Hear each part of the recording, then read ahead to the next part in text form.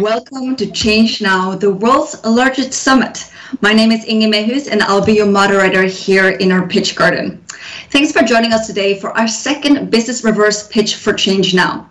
We're going to now spend the next 30 minutes with five executives from Veolia from around the world. Each one of them is going to share a business issue they are facing in their own geographic location and the problem that they needs to be solved in order to accelerate the ecological transformation and they will have two minutes. Then we're going to have a jury which consists of different representatives from startups and solution-oriented organization and they will ask these five executives from Veolia questions to understand the issue and maybe even to challenge them a bit. But first, I'm going to ask Claire Falzone to pitch Open Innovation by Veolia, your new startup program that you just announced. Claire, over to you.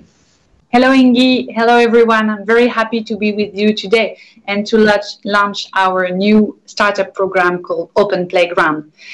What is Open Playground? Uh, we have asked several operational people from Veolia to tell us what were their unanswered questions, where they had challenged, they needed help to find solutions.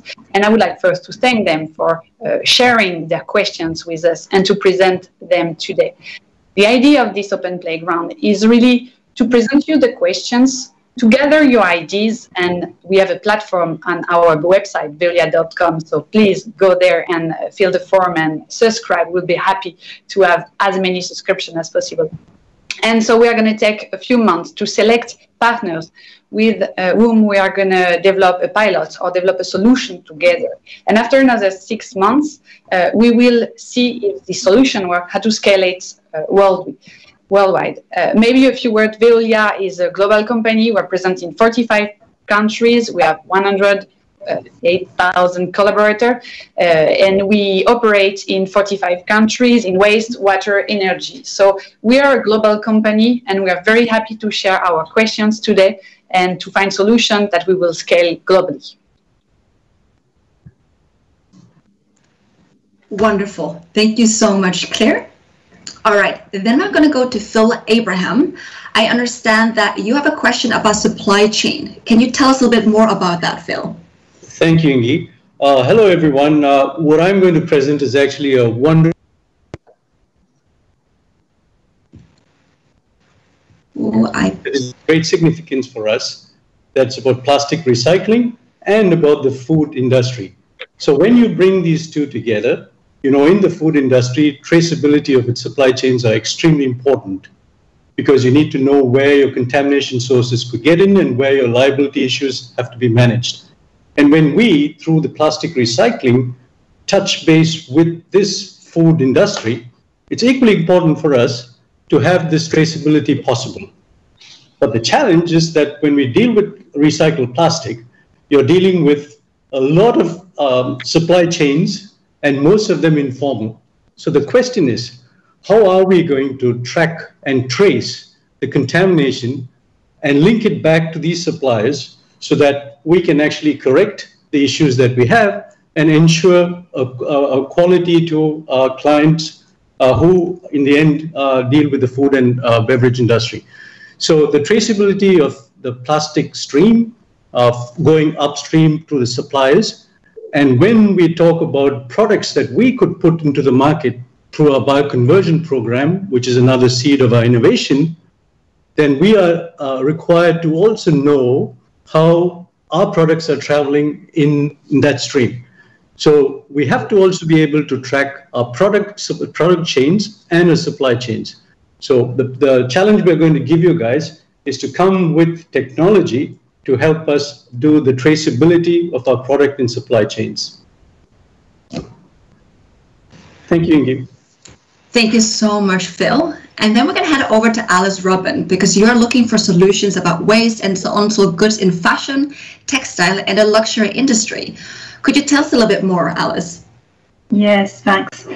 Um, so I'm uh, in Veolia Waste activity for France, and uh, in France, we have a new uh, incentive regulation uh, because with um, a regulation from last year, any producer or holder of textile waste will have to sort it at the source. furthermore, we have a French regulation, and now destruction is prohibited for unsold. So we are wondering what could we do with those uh, waste, with those textile waste. Um, those textile waste are assembled textile, assembled clothing, assembled bags. Uh, they are constituted of several materials and sometimes complex materials. So what could we do tomorrow? Fantastic. Thank you so much, Alice. And then we're going to hand over to Sebastian Chauvin because you're looking for solutions about circularity, but at a very small scale. Yes, exactly. And, and good afternoon, uh, good morning, uh. Uh, indeed, uh, I'm very happy to present uh, a challenge uh, that is what we call the, the micro circular economy, or even driven by autonomous houses, and, and with an ambition to propose to the inhabitants of, of houses solutions that could replace somehow, partially or totally, the public services or the essential services whether we talk about wastewater, potable water, reuse, waste, biogas, compost, well, all the solutions that we could imagine to embed directly at, uh, uh, at the uh, inhabitant uh, places. So you will understand that the, the, challenge we're talking about is rather technical, even though uh, all the, the, the, technology around, uh, around those activities is known today, but it's just a matter of scale, being in capability to have uh, uh, on micro scale uh, all these solutions that could be deployed at the level of individual houses. And in terms of markets, as you can guess, we are really targeting the replacement, if you could say replacement, of what we call the last kilometer of investment, because as you might know, all individual houses, uh, and specifically the ones that are quite isolated from city, require some massive investment to get the essential services connected to their place. So the idea is to have this house uh, embedded with the uh, right solution for them to be autonomous. Thank you. Thank you, Sebastian. Indeed, on a small scale. Then, Rob Brown, you are looking for solutions for upcycling waste from agriculture and the food and beverage industry. Can you tell us a little bit more? Yeah, so um, I'm actually a farmer by trade, a strategist by profession. Um, I represent uh, Veolia North America, um, and we're sort of looking at the space of ag and food and bev, especially towards their waste streams. Um, bigger is not always better, um, especially when it comes to waste in North America. We are seeing large volumes of waste that um, will require a different mindset. Uh, ecological transformation will require that mindset of looking at uh, waste is a new resource. So really, I'm uh, the question I'm posing to everyone, and thank you, Ingi, for uh, hosting. Uh, is you know, are there any ideas out there for upcycling uh, waste streams, uh, creating new loops, adding to existing closed loops, but trying to keep that waste in house and um, finding some resource basis for it. So that's my question. Thank you. Thank you, Rob. So now the floor is open for the startups to ask their question. So I would like to see who would like to go first.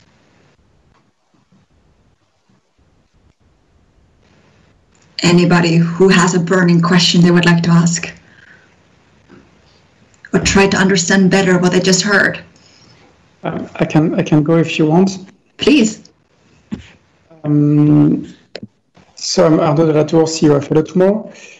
Uh, maybe the first question, so for the first topic about the tracking and, traceability in supply chain, um, I have two questions. One is, um, uh, do you also consider maybe the energy efficiency uh, to make sure that the solution you bring to track and analyze data is actually not worse than the, problem you want to to fix than the solution you, you're bringing in? If you look at the Bitcoin issues, for example.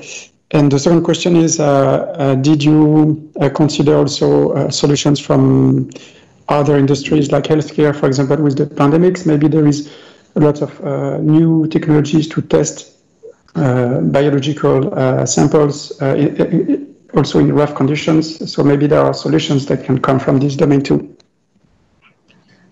Uh, so thank you for the question. Um, uh, let me answer the first, second question first. Um, anything is okay for us, so as long as it works, Uh, we're not going to be super sensitive into, uh, we don't have an ego to say if it comes from another sector, we can't use it. And that's why we're talking to you guys because you probably have your eyes and ears open for uh, lots of movements in other sectors as well. So anything, yes, if it can be applied, uh, so much the better, especially if it's tested and proven, why not? So we don't have a problem with, um, with copying and adapting solutions for our sector. Uh, now, when it comes to energy efficiency, I think you're leaning towards blockchain.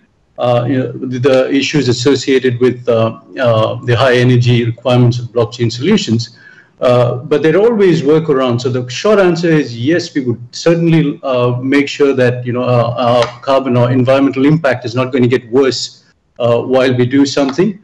However, we also think that there are smart ways of doing applying technology uh, in a way that uh, it's not demanding on energy as well. So that's the challenge. We're not ruling out anything. Uh, you just need to come up with a smart, smart way of making sure that we're not going to kill our carbon footprint uh, by tracking something where we're trying to reduce our carbon footprint for. Thank you. Does it make sense? Thank you. Wonderful. And I believe Alex has a question.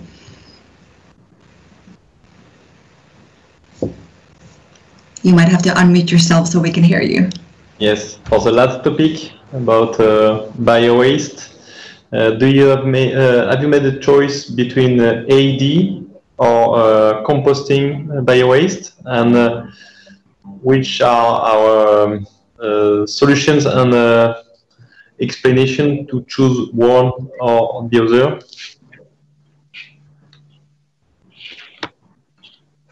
From a uh, specific waste stream, it really will bespoke depending on the actual waste characteristics. Um, when you're looking at AD, uh, you're looking also at the, the fact of uh, methanization, uh, biogas recovery.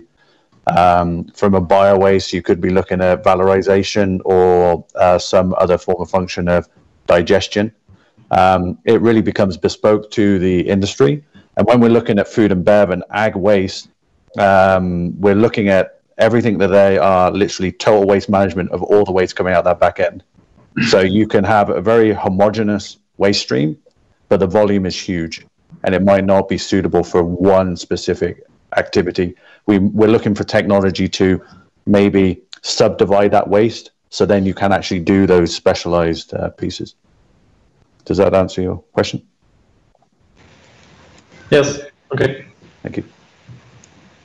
Thank you. And we have Basil who would like to ask a question. Yes, thank you. Uh, I hope you can hear me. So I have a question for um, uh, for Philip Abram in the beginning. Um, so I wonder if you have already considered any off-shelf, off-the-shelf solution um, for your problem. And then I have also a question for um, regarding the microcircular economy that you were talking about. So this is the uh, third speaker. I was wondering if you can tell us a little bit more about the um, specific type of problem that you're trying to solve, because there's a lot of different last mile issues regarding, you know, wastewater, biogas, maybe if you can explain us a little bit more the challenge that you're trying to solve with technology. Uh, shall I go first, um, Basil? Uh, yes, yes, please. Thank you. Okay, um, so uh, off-the-shelf solutions, uh, Basil, to be honest, yes, we've been looking out for something. Uh,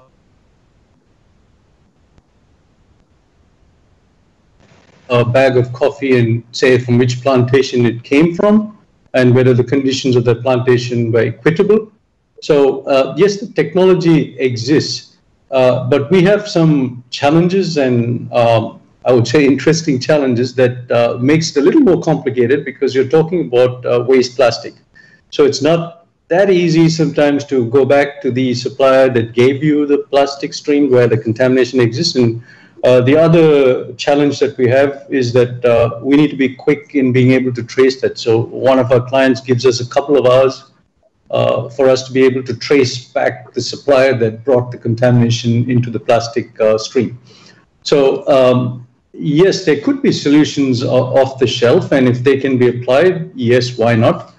Uh, but we haven't found something that we could just, you know, plug and play today. And this is why uh, we're talking to you guys, opening up the challenge uh, to see whether we can use your your smarter brains than what I have and come up with a, a cool solution that uh, would work for us. And um, and you know the extension of this is the playground that you get when you talk about plastic. You're not talking only about Asia.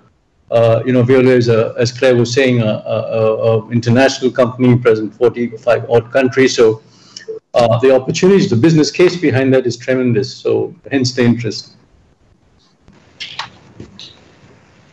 I'll, I'll, answer the, uh, the, the, the, second question. Well, the, the, if you look today what's available in the market, because there are few products available for micro-circular uh, economy, uh, you'd be surprised to see that uh, all the solutions are extremely isolated first. Uh, they are tackling a very tiny portion of the, of the challenges that we, that we would like to, to tackle.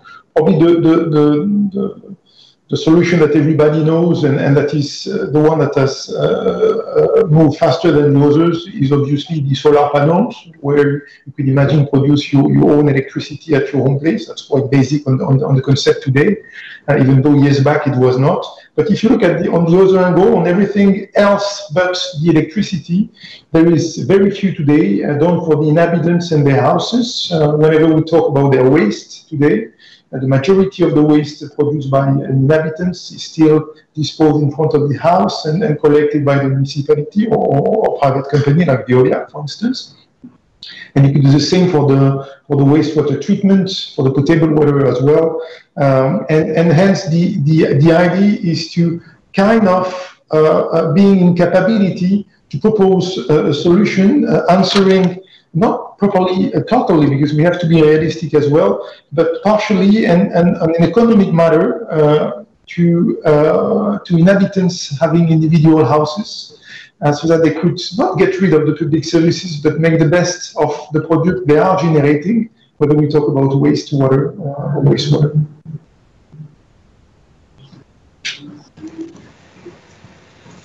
Got it. Thank you. Great. Okay, Mafalda has a question. Go ahead, Mafalda. Hi. Uh, so my question is regarding more the textile industry involving the traceability and the fashion brands.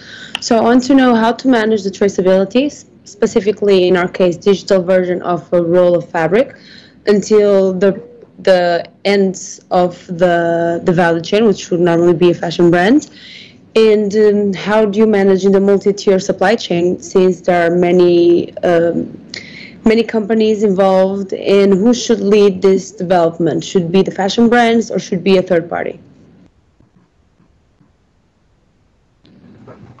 Okay, I take it. Um, I don't know.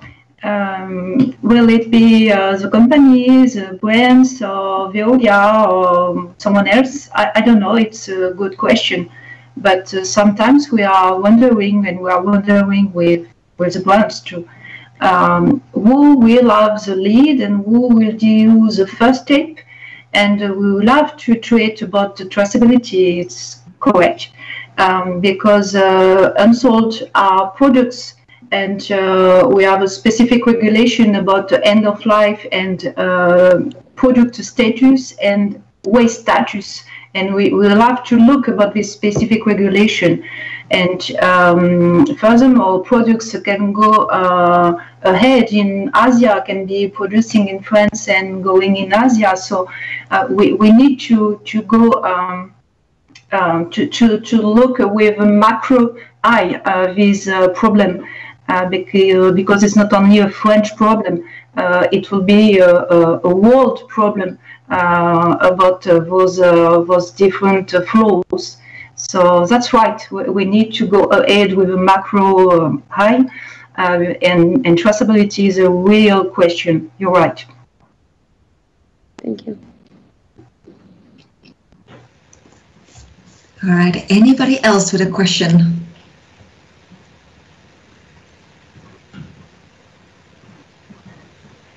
or anything they would like a clarification on?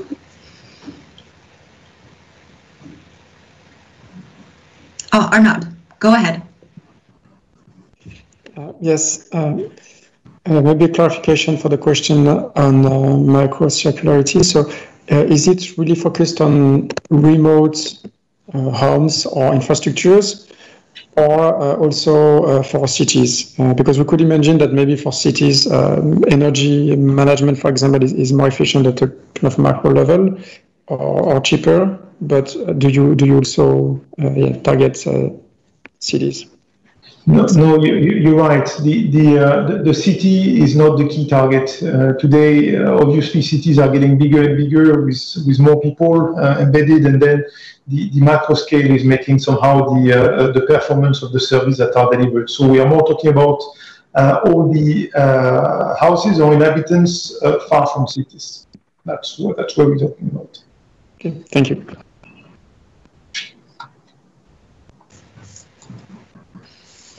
Anybody else with a burning question on their mind? Um, I actually would just like to ask some uh, another question regarding the same aspect. So, if there is a solution for traceability, what is what would be considered a value a valuable output from that traceability? What type of information do fashion brands or any value chain in the in the traceability? Uh, what what do they consider valuable? Maybe first the materials. Um, what is the product done? Uh, is it uh, leather? Is it uh, cotton? Um, so first, I think it will be the, the the materials in the product and part of each material, and um, may, maybe the, the place uh, it has been produced. I, I, I don't know. We will have to imagine it but uh, material it is like a, a identity passport material for products tomorrow and for textile products made but maybe for other products um, like a passport materials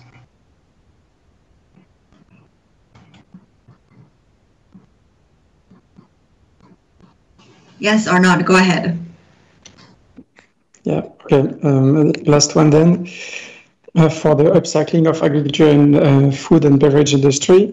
Uh, is it only upcycling waste from those industries, or can it be using um, uh, companies in the food and beverage industries to upcycle other waste streams. Uh, for example, I don't know, a company uh, brewing beer, it's kind of um, I mean, synthetic biology is kind of advanced um, brewery. So uh, you could imagine that they could, um, uh, I don't know, like uh, upcycle CO2 from other industries to produce uh, beverages, uh, for example, or sugar or things like that. So it, do you also consider this aspect or it's really only upcycling waste from those industries? I, I think I'll go back to uh, Philip's um, comment about Veolia and other zones we're, we're interested in the next seed. So in Veolia, we have a uh, terminology called seed, uh, which we will then grow into trees, which will grow into forests. And everyone that's a member here from Veolia, we're farmers. We're looking for that next seed. So when you're talking about a certain new idea, a new concept that will um, help us, you know, in an ecological transformation way, doing it for the right reasons, it's something that will interest us. So we're not the question was in within the guardrails of trying to elicit some form of conversation, but our, our discussion is uh, wide and far. So we would look at other uh, avenues and other streams, and going back to that idea of creating a new loop of material. Great, and I think we have another question from Basil. Yes, um, I have a question for Phil. Um, if you could explain us um, what is so regarding traceability, uh, what would be the application areas where you think uh, there is, you know, the strongest needs right now, the most urgent need for this kind of traceability, and also um, where um, is it most feasible in terms of the data that is uh, accessible, the type of partnerships that you have. Um, where would be the application areas today? Okay, uh, Basil, thanks for your question. Let me be a little more specific about uh, a particular challenge we have right now. So uh, uh you may have heard that Veolia has partnered with Danone to address the uh, plastic uh, waste plastic situation in Indonesia or you know in the world, so to say. so if you're asking a question specific about what geography in Asia, we would have already business case uh, waiting for us to be used in Indonesia, where uh, we will use this technology to look back at the PVC contamination in uh, PET, uh, recycled PET. So as you can imagine, uh, the uh, informal collection sector brings these PET bottles in. Sometimes um, what comes in is not PET, you have PVC contamination. So we're looking for a specific um, technology, let's say, that will help us track not only uh, we we could be uh, we could find the PVC easily, but then to find out from where it came from uh, is the question that we have in mind. Uh, and when you look at the other case for the downstream in terms of products, where we have a bioconversion um, uh, plant in Malaysia, and at some point we're going to start putting out products uh, for pet food, for example. Uh, and then there are liability issues. We have to make sure that, uh, you know, if there's a contamination that happens further downstream from us, we need to prove uh, in a uh, watertight case that the product, when it left us and when it reached where we intended it to go, its packaging was intact and uh, there was no contamination caused because of our processes. And if there was an issue, it came further downstream. So it's useful then for us to handle the liability issues also, when you, as you can imagine, when you give your your pet uh, food that came from Veolia, we want to make sure that your pet's healthy and we can prove that uh, our food does good to your pet. So that's where we're actually coming from to handle both uh, the, the, contaminant issue in terms of our liability with our immediate client, but also with the larger community. Uh, we need to make sure that we have something that can, um, you know, keep those things um, in check. Is it clear, Bas? Yes, thank you. That helps. Yeah. Fantastic. Thank you so much. That's all that we can actually get through now. We're going to get a moment of networking soon. But before we do that, I do want to hand the word over to Claire. I would love to hear what are you thinking about this session so far? Thank you, Ingi, uh, and thank you, everyone. Uh, I think it was a, a really uh, uh great session because uh, first we had people from all over the world, and it shows you that uh, whether you come from North America, Asia, Middle East, or France, the questions we ask is question that uh, appears uh, all the time all around the world. So th- that the, the, beauty of uh, digital is that we can share these questions today, and and that's that's really great. And I would like to thank uh, the, the startups who, who, accepted to to to do this reverse pitch and to question us. Uh, you are very often questioned on your business model, on your ideas, and I, I think it was great uh, from you to take the time to to challenge us. Uh, so thank you uh, all. Uh, this this is a launching of our open playground. So now go to our website, subscribe, uh, bring your ideas. And if you have other ideas, by the way, do not hesitate, send them to us as well. We'll be more than happy to look at them and to see how together we can really change the world. Beautiful, Claire. Thank you so much, Veolia. Thank you, all the startups. Thank you to all of you tuning in from all around the world for this fantastic session. For you who are here, you can continue the networking by clicking the link in the chat. And other than that, I wish you all a fantastic day and enjoy the Change Now program. Goodbye, everybody. Thank you, Ingi. Bye.